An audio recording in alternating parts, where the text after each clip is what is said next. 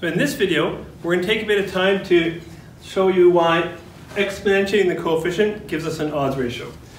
What I'm going to do is first work through the example that we have with our data, looking at the log odds of coronary heart disease and numeric values for the coefficients.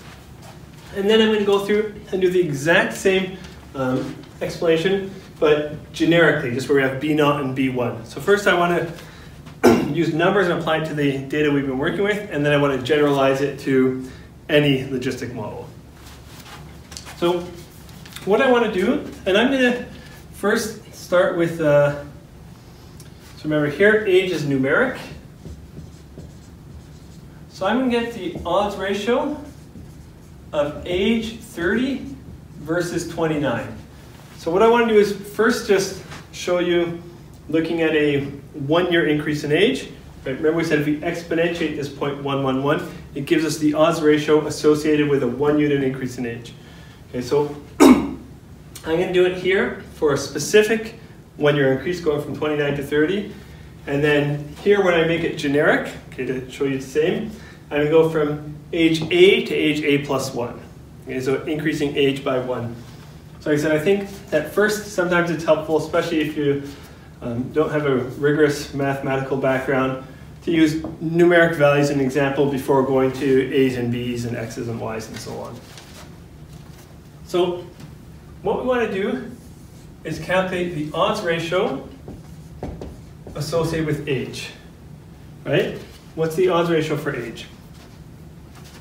And if you call the odds ratio is the odds of the disease given, let's say age is 30 over the odds of disease given that the age is 29. Right, again, it's actually just for a one year increase. For now, I'm going to use specific numeric ages and then we'll generalize it to age A and A plus 1. Okay. So I'm just writing out the definition of odds ratio, right? The odds ratio of age is this. The odds of disease for a one unit increase in age. Okay. Now, what I'm going to do is I'm going to work on the scale of the log odds ratio. Right? So here I'm just taking the log of both sides. We're going to work on the scale of the log odds ratio. and the reason I'm doing that is remember, logistic regression models the log of the odds. And now there's one property we need to make use of, property of um, logs. Remember the log, so you have x over y, can be written as the log of x minus the log of y. So that's just a property of logs. Um, hopefully you remember that. Uh, we did recap some of the properties earlier in the course. If you don't remember it, you might have to reach back to um, undergraduate or maybe even high school math to get back there. The log of x over y can be written as the log of x minus the log of y. Okay, so we can make use of that here. The log of the odds of disease given age is 30 over the odds of disease given age is 29. This can be written as the log odds of disease given the age is 30 minus the log of the odds of the disease given that age is 29. Right, so I've just made use of that property. And now, remember, our model is giving us the log odds of the disease, right, given the ages. So this here, okay, the log odds of coronary heart disease given age is 30, that's negative 5.31 plus 0.111 times 30. And the log odds of the disease, log odds of coronary heart disease, given age is 30. It's negative 5.31 plus 0.111 times 30. All of that minus this here, the log odds of coronary disease given age is 29.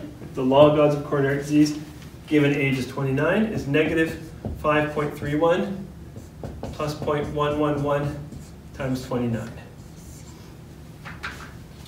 Now what you're going to see here, negative 5.31 minus negative 5.31, those are going to cancel out.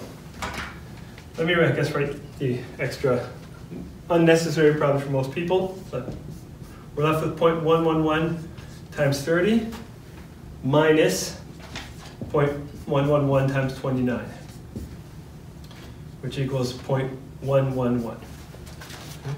And so the log odds ratio is 0.111.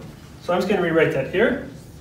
The log odds ratio is 0.111. And another property of logs and exponents, we uh, talked about this one previously. The log of e to the x is x. Right, the log is the anti-exponent, or the exponent is the anti-log. So if we take e to the log odds ratio, maybe I should write the property the other way. It also goes e to the log of x is x. That's the property we're making use of. So e to the log odds ratio is e to the 0.111, or the odds ratio is 0.111. So the log odds ratio, sorry, missed something there. It's e to the 0.111. The log odds ratio is 0.111. The exponent of the log odds ratio is the exponent of 0.111, or the odds ratio is e to the 0.111, which we saw previously came out to be 1.12. So um, hopefully this convinced you that exponentiating that coefficient gives us the odds ratio. What I'm going to do is go through and do the same explanation. I'm going to go a bit more quickly. So if you got things and you're okay, you can stop here. You don't need to watch the generic, um, generic explanation unless you want to, to see the generalizing of it. I'm going to go a bit more quickly and do the exact same thing, but looking at the odds ratio associated with age, where we're looking at age A plus 1 versus age A. Right, so looking at a one unit increase in age, not necessarily specifying exact ages. Any one unit increase, and using B naught and B1. So the log odds ratio. Well, maybe let me cut a few corners and move a bit more quickly. So I'm going to jump down to this step here. We can express the log odds ratio as the log odds of